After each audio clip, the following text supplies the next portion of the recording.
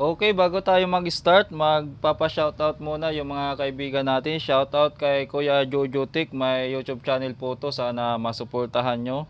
Shoutout kay Gerald Kabakunga ng Mandaluyong.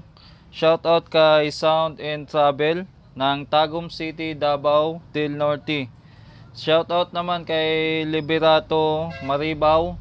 At shoutout din kay Mayman Langit, Bansalan, Davao del Sur naman. At mga boss, kung may time kayo, pakibisita naman ng YouTube channel ni Kuya Leoda Tech TV. Kunti na lang kailangan niya para mag 1K. Sana po masuportahan nyo. So, start na tayo mga boss. Okay, isang mapagpalang araw sa inyo mga boss at welcome back sa ating channel. Sa mga bago naman dito sa ating YouTube channel ay welcome at tuloy po kayo. Sa mga nanood doon sa last video natin, maraming salamat at God bless po sa ating lahat. Bali mga boss, ang gagawin natin ngayon ay microphone. So mapapansin nyo dyan, mayroon tayong tatlong voice coil. Hindi tayo magre-review ng microphone at ipapakita ko lang sa inyo yung kadalasang ginagamit ko pang replace sa voice coil.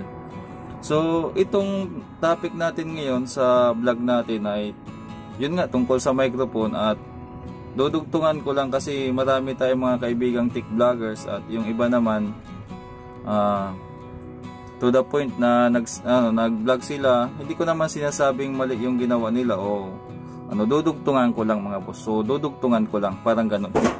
May mga nag-vlog kasi na halimbawa uh, gawin nating mas matibay yung microphone nyo. So yun ang mga title nila.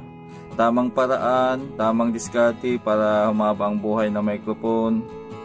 Ano, sikretong malupit para ano, para gumanda ang microphone. So, ganun yung mga title nila. So, ang gagawin natin ngayon, ang ginawa kong title ay paano i-upgrade ang microphone. So, para maiba naman. Pero, ganun din ang gagawin natin. Ang gagawin natin dito ay gagawin nating mas matibay at mas maganda yung ordinary na microphone. So, imi-make over natin siya sa pamamagitan ng yan. So, ito, tika lang Meron tayo ditong common na microphone na ginagamit ko pang replace itong Oris. Ayan. So, pakita ko sa inyo. Ito siguro sa mga tech dyan, alam nyo na to. Ito yung pinaka-common na ano. Yan. Ito yung Oris. Pero itong Oris hindi natin gagamitin. Ito yung Oris na microphone sa ano. So, maganda to sa vocals. Nga pala mga boss, kung gusto nyong malaman yung mga sensitivity at yung pinaka ano, general topic about sa voice coil at saka yung mga branded tulad ng Shure ata, puntahan nyo yung channel ni Kuya Pix in Review. Meron siyang video about sa mga voice coil. So kung gusto nyo mas malaman pa, uh, marami pang malaman tungkol sa voice coil ng microphone, merong upload si Kuya Pix in Review na ganito. So, puntahan nyo mga boss yung YouTube channel niya at saka i-subscribe nyo rin siya. So ayan, it, yung mamaya ko na ibalik yan. Ito yung pinaka-common na pang replace. Yung tinatawag nila, ay sira na nga yung ano eh. Ang model nito ay In5 Auto, ayan. So sa ano, sa mga low budget, ito yung pinaka ano, pinaka-common na ginagamit nila pang replace sa voice coil pag nasira. Tapos, yung paborito kong gamitin sa totoo lang, Loda. Loda na X7. Kaya lang nung bumili ako, wala akong nakuha ang X7 kaya nakuha natin ay, ano bang model to? M2000. So marami din ang gumagamit nito, nakaano pa eh. Yan. So ito yung gagamitin natin dito. Bali mga boss, ang gagawin natin na ay yun. Mag-upgrade tayo ng microphone. So kung mapapansin nyo, mayroon tayo ditong microphone na platinum. Nakabalot pa siya, nakasilyo pa. So bago pa talaga to hindi pa natin to ginagamit. Kumbaga pambinta ko to. At isa sa mga dahilan kaya gumawa ako ng video ng microphone kasi gagawan ko ng ano ng heavy duty na microphone ang video okay ng misis ko na na-symbol. May na-symbol akong video okay. At sunod natin na upload 'yon. Abangan yung mga boss ah, kumbaga i ano doon i-disclose ko o kaya i-share ko sa inyo kung magkano ang inabot doon sa ginawa kong video okay. Bali personal video okay lang naman yon pero mukhang nagastusan din ako. So buksan natin to mga boss. Ito yung pinaka-common. Pag bumili ka ng microphone na medyo naman ano, kahit pa paano magagamit mo ng tama, ganitong microphone, pwede na to. Pero ang kadalasan nito yung wire ang nasisira. Pero yung boses nito okay na rin. Okay na rin to kasi marami naman gumagamit nito. Ayan, meron siyang ano, ito yung ano niya. Itong Itong mga boss ay para nga sa akin common. Pinaka-common na kumbaga meron naman siyang dissenting tunog. Pang video okay, okay na rin. Ba't ko nasabi? Hindi naman ako mahilig kumanta. Kadalasan sa mga repair ko dito, dito sa shop, Linggo-linggo yan kasi mahilig ang mga tao dito sa barangay namin mag-video. Okay, linggo-linggo may repair ako ng microphone at ito, kadalasan ganitong klaseng microphone ang nire-repair ko. Hindi naman nasisira to. Ang kadalasang nire-repair ko dito ay ito. Yung dolo. Dito lagi kasi na ano yan eh, nahuhugot yan eh. Ah, ayusin natin yung ano. Nahuhugot kasi lagi dito yung wire niyan kasi manipis lang. So buksan natin yung ano. Buksan natin yung yung dito. Dito lagi nagkaka-problema niyan eh. Okay ayan. So itong problema niya dito ang ano niyan. Zoom natin. Okay. Ayan. So ayan. Ayan yan ang pinaka problema niyan lagi sa ganitong microphone nahahatak to mga boss Nahatak to kasi kung mapapansin nyo dito sa ano, manipis lang kasi yung wire niya talaga oh. Kung mapapansin nyo, manipis lang oh. Tingnan nyo. Manipis lang. Mayroon pa nga nito nag-vlog tungkol dito. Ang thumbnail niya ata ay ano, uh, gawin nating mas matibay yung microphone nyo sa halagang ganito. 10 ah, piso lang ate. Yung vlog na yon eh. Ang uh, successful yung vlog na yon at marami talagang bumili sa vlog na yon mga boss. Maraming nanood doon sa vlog na yon kasi napaka-successful kasi uh, para siyang clickbait. Clickbait siya. Hindi ko naman sinisira ano, hindi ko naman sinano. Tama naman yon. Sabi niya kasi sa vlog, ang ganda. Titibay ang microphone mo sa halagang ganito. Ay, hindi ko alam, 10 piso ata, 20 pesos. Bali ang ginawa niya, ito pa rin yung wire na ginamit. Para daw mas matibay yung microphone, ang ginawa niya lang, hininang niya dito, syempre naputol, hininang niya din, uh, nilagyan ng glow stick o stick glow ganito. So binuhusan niya lang ng glue to dito. Doon ayun matibay na. Matibay na daw yun yung ganun style. Matitibay naman talaga yun kasi unang una nilagyan mo ng glue dito ng glue stick. Nilagyan mo ng glue stick. Hindi na mapuputol yung ano yung hinang. Ang magiging problema lang nun di ba nakaglue mo dito so hindi na siya mano mas matibay na kasi umapit na yung glue kaya lang, yung pa rin yung wire na ginamit mo, mahuhugot pa rin eh, mapuputol. Ito napuputol pa rin dito to eh, sa katagalan eh. Mano lang kasi to mga boss, itong ditong part na to. Pag nasimulan mo na kasi itong ano eh, nasimulan mo na, nasimulan na kasi itong maano, masira, subukan nating hawaan ng konti. Mabilis na kasi ito mag ano eh. Ayan oh. Yan, subukan natin hiwaan. Pag nahiwaan mo kasi siya na ano na ano, mabilis na siya maano eh. Ayan oh. Pag ginalaw-galaw mo ng gano'n, umano na. Kasi malambot lang tong ano, malambot lang to. So, pwede naman 'yon.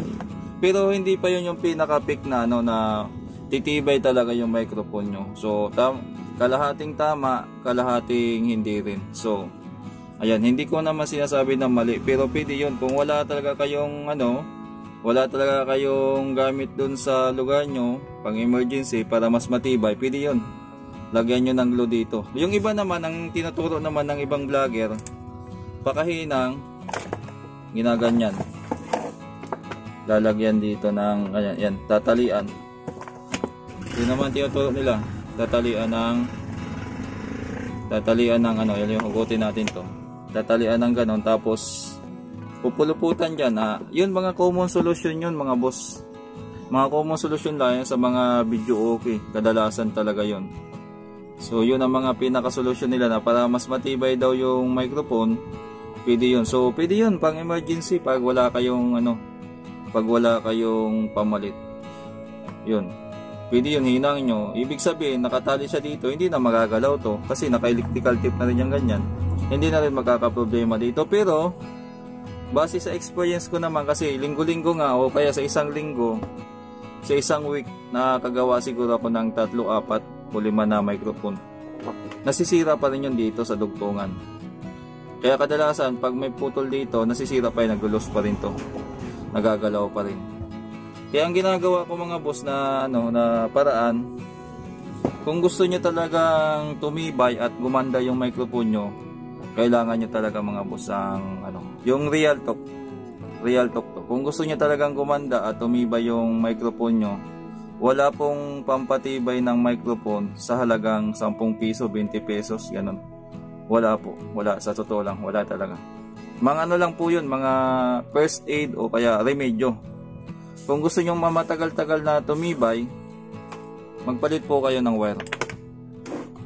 Palit kayo ng wire. Mas matibay na wire, mas matibay na accessories katulad nito, mas good quality. Ito naman hindi ko sinasabi ito yung pinaka top of the line na XLR at saka PL55 pero pag naka-assemble na kayo nito, mas matibay. Sa totoo lang, sa totoo lang mga boss, sa pool nung ano, sa pool ng may mga customer ako na linggo-linggo.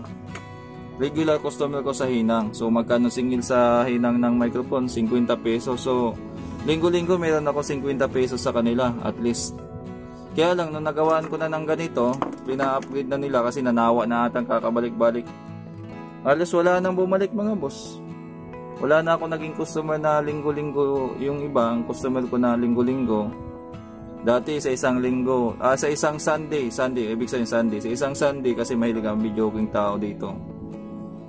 Apat o lima na customer nagpapahinang ng mic. Sa pula nag lahat ng mga nagpa-upgrade ng ganito, wala na.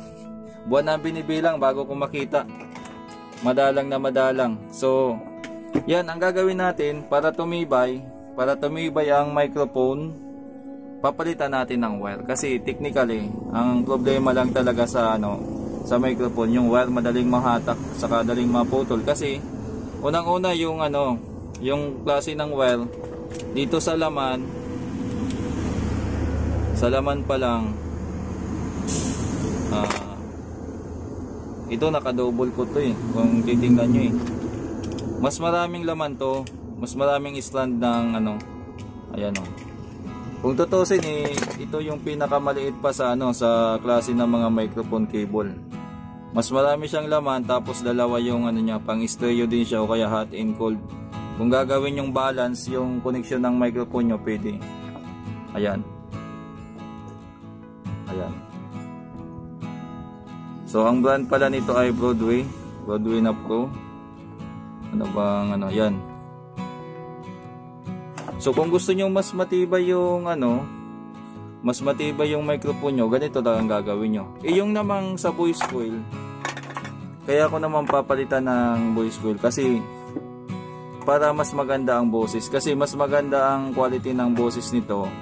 Hindi gaanong yung pag nagsalita ka masyadong malalim, hindi naman matinis na parang puro high na lang, yung puro sagit-sit yung ano. So saktong-sakto lang at pag nag-ano ka, hindi na masyadong ma-effort. Maganda yung pick up niya. Hindi ka na mag-iipot na tutuduhan mo pang boses mo kasi kahit normal voice lang. Kasi di ba pag mahina yung voice coil ng microphone pagkakanta ka kailangan mo lakasan para marinig mo yung boses mo di ba? Sa mga ganitong voice coil kunting bulong mo lang o kaya yung normal voice mo lang ang gagamitin mo normal lang na pagkanta hindi ka na mag-iipot na mag ano ka pa talaga ng hangin pick up niya na. Ang problema lang sa mga ganito kasi sensitive nga masyado. Yung mga tao naman na malalakas ang boses, yung palasigaw, doon naman kawawa to. Pero in general, okay to mga boss.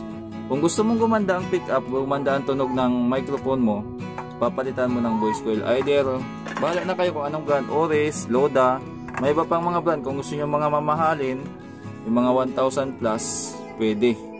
Pero yung budget natin, pang dito lang, sapat na to, okay na. So mag-assemble tayo ng ano ng microphone wire. So assemble muna tayo mga boss at tumahaba na yung video natin. Bali i-forward ko na lang 'to.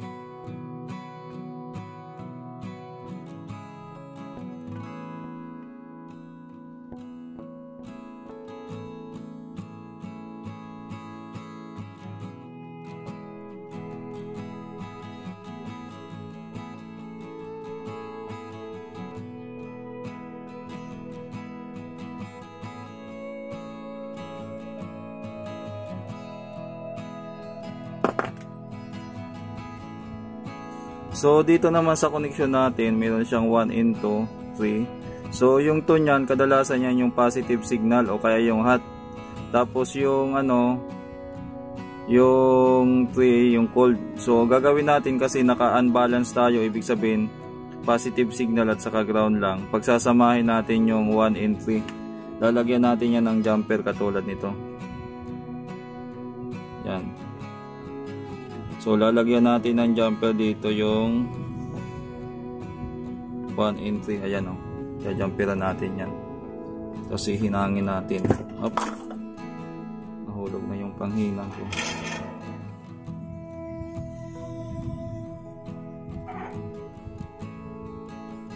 Kasi ginagawa ko yan kasi may mga microphone na ang connection lang doon sa kabila. Ito lang.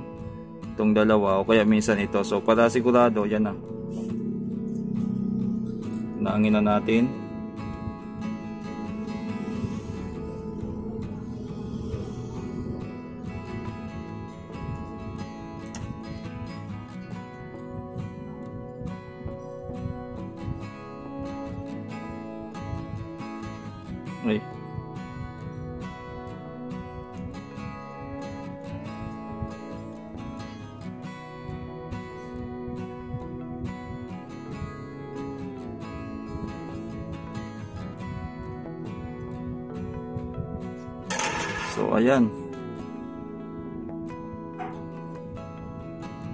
So ayan na yung pinaka connection niya.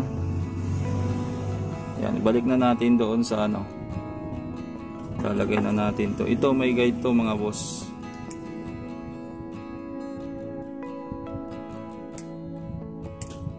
Ayan. Ay.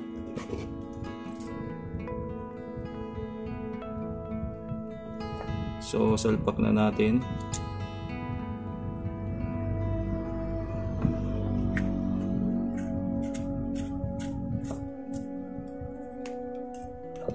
Yun na. So, testing natin dito. Natin gagamitin yan.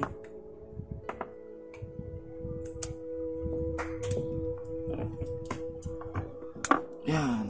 Okay na.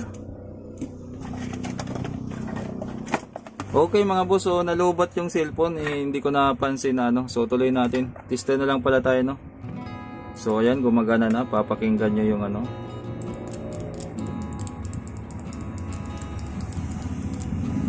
So ayan, abangan nyo sa next vlog. Doon natin ititesting ngayon. Magpapalit naman tayo ng voice coil. Yan, para mas maganda yung pick up niya.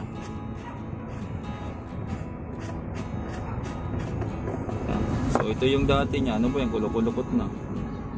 So ito yung dati. Tanggalin natin.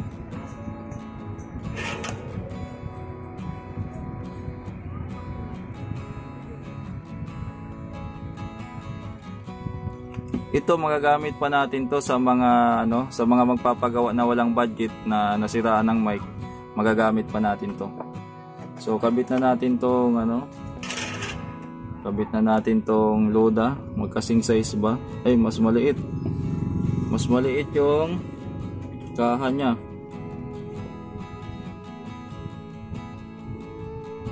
gawa na lang natin siguro ng paraan to. Yung oris ba? Kasya din parehas lang. So mas maliit yung ano niya mga boss. Yan o so gagawa natin ng sapin yan. Lalagyan natin yan ng ano pero idugtong muna natin. Gamit tayo ng shrinkable tube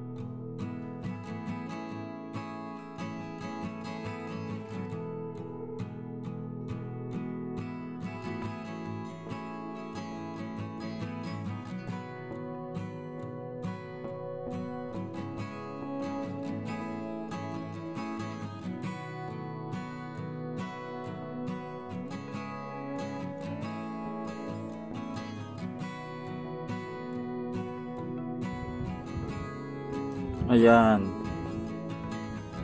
Ayan. Pit na pit na siya. Try natin kung sasagad.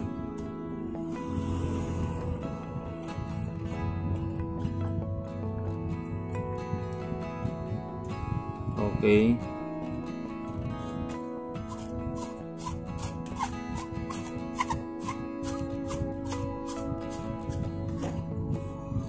So ayan na, testerin natin uli. Kung okay siya.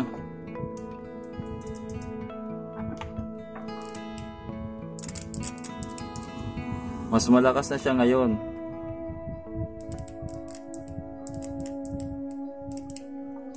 Ayan mga boss, ayan. So bali ang magiging ano diyan, ang magiging tawag dito, magiging testing natin ay doon na sa part na kikwintahin natin kung magkano inabot ng video okay kasi kasama to.